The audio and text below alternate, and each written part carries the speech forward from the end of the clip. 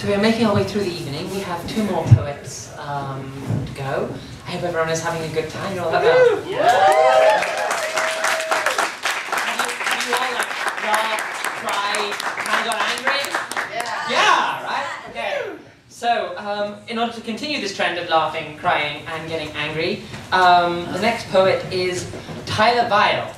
Um, oh, wait a second. Is here. Sorry, not on my phone, on a Yeah. piece of paper. Tyler Vile is a poet, performer, and activist from Baltimore, Maryland, whose work has been featured in publications like Gadfly, Blue Stockings Magazine, and the Bicycle Review. She recently spotlighted at Sparkle, DC's queer open mic series, and slammed at Capturing Fire, DC's queer poetry festival. Her chapbook, Hasidic Witch Murderer, is available now, um, and she is and she is also here to read to you, guys.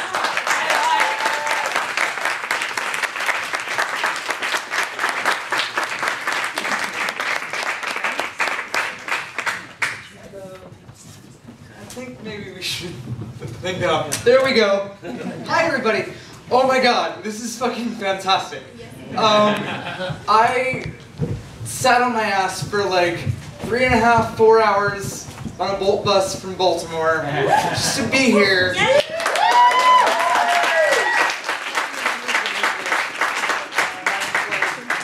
Um, yeah, I just I have such a crush on this entire room. It's fantastic. um, so I decided, because you know it was a um, a long day, to treat myself and read one of my favorite poems that, that I've uh, ever written. And you know the worst thing that's gonna happen is I talk this poem up, and y'all don't like it as much as I do. But um, but we're gonna go oh in with it. Ode to my boy jeans. I wore this same outfit when I was 15. I had blue hair and a beard. The hair dye it stayed in the back of my ears and neck for a week. There's still a bleach stain on these jeans. Of course they smell like weed. Who the hell you think you're talking to? You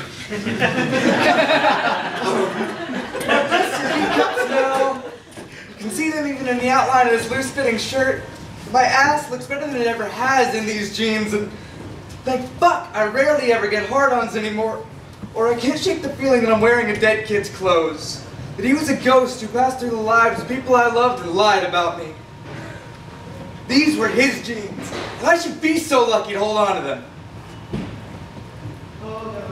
These mean slipping on the beer-soaked sidebar floor and never putting them in the wash. These be perfect.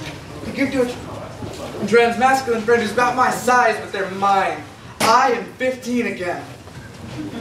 I want blue hair, I want blunt wraps and 40 ounce bottles of malt liquor. I want a world that knows the difference between a deep voiced tomboy and a man. I want to be referred to as they just as often as she.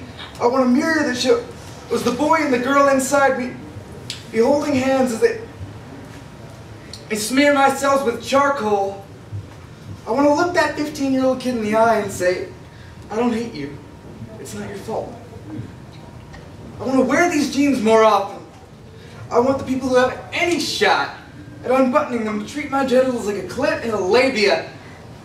I want the kisses I was too scared to ask for at 15. I want femininity on my terms. And that means I'm keeping these jeans.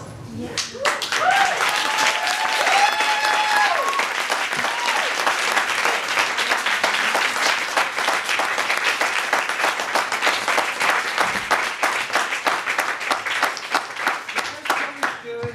So I don't know about the rest. Let's stay with me. Stay with me. Mermaid. Oh, did I drop one?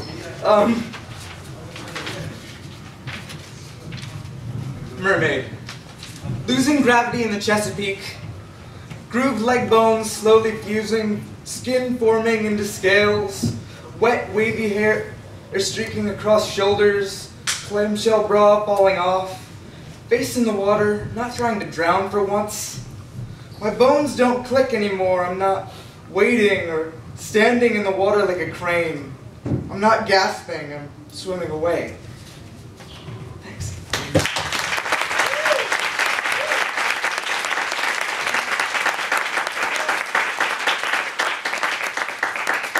What else do I have in my paper bag of tricks? Bolt bus ticket. Thank you, Pat. Um, I have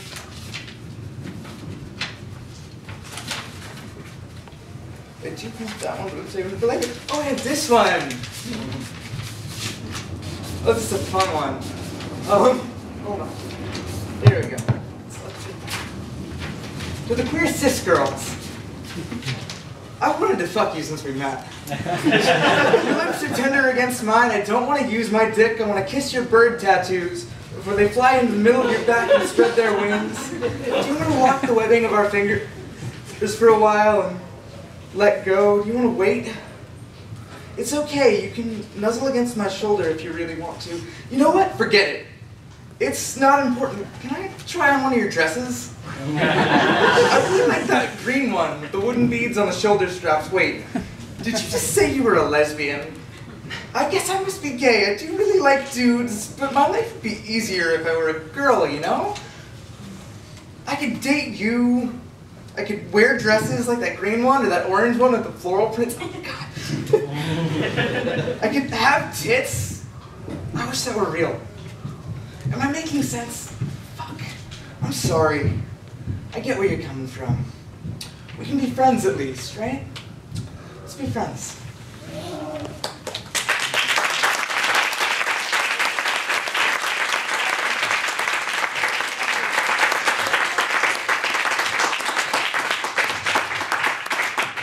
Excuse me as I fumble through my phone. Um,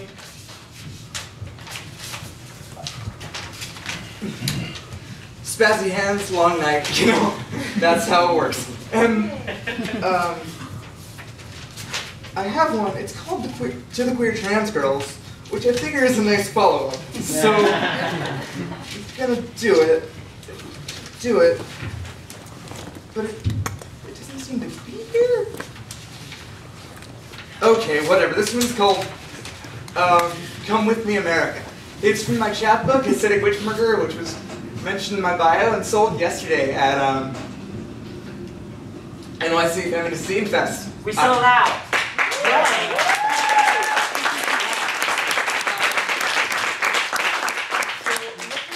I maybe get up on the Topside website. I, I don't. Ask Kat. Come with me, America. I've looked for you in mirrors full of goatees and zits. I, I've lost you in unstrapped Velcro shoes as crutch cuffs spun around my arm and made me kiss the concrete. Tried to catch up to you at every stoplight from Baltimore to Barcelona. Fell down stone steps with crutches dangling on my arm. Split my head open on locker doors, blood gushing out to meet you. I am nobody's reincarnation, everybody's asshole cousin-in-law, and someone else's idea of a good time. When my head throbs, yours does too. When my hands glow with warmth, I put them wherever you need me to. We shiver in terror together, arms clasped around each other, breathing like broken oxygen tanks. I wail through the decades like a drunk trying to shatter the mask of manhood. Let's dig deep and and plant our seed in fertily soiled fruit and flesh. Teenage prayers sink teeth into crevices of writhing bodies, fucking in the asana and joining in droplets of sweat. Where was I when my hands stopped trembling? Did you catch me there? Wait, I think my right thigh is ringing, rattling its bone like an army crawling baby. Yeah, I touched my eyebrow arch to see if you're still sitting there. You rascal, you radical, you mighty feared enemy of the college Republican. Plymouth Rock and Coney Island, who its unnamed relatives gassed in Polish boxcars and burned at witch trials. Fear pour, was like concrete through your bloodstream. You might know you. Gone from turtle to rabbit on a love machine, kill, killing fascists. I'll give you the craziest ride you can imagine. Bowl me over with your eyelids. Let's burst out of cocoons under streetlights at Wyman or constellations by the Mason Dixon. We can't hold back anymore. This is our birthright.